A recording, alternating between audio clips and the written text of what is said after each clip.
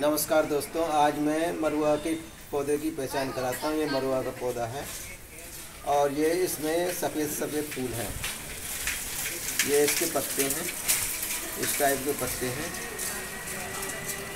ये और ये इसका फूल है। काले काले ये पके हुए बीज हैं। ये आपके इसके पौधे लगाने से सांप नहीं आता घर में और दूसरे नंबर इसके जो पत्तों की चटनी बना के खाई जाती है। इससे लीवर का फ़ंक्शन बहुत सही रहता है। कीड़े भी नहीं पड़ते? और इसमें कीड़े भी नहीं पड़ते हैं।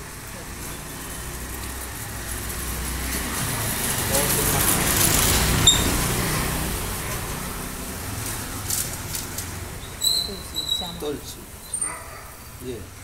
ये भी मरुआ का ही पौधा है। ये थोड़ा छोटा है। हाँ, और आप इसकी पहचान याद रखें।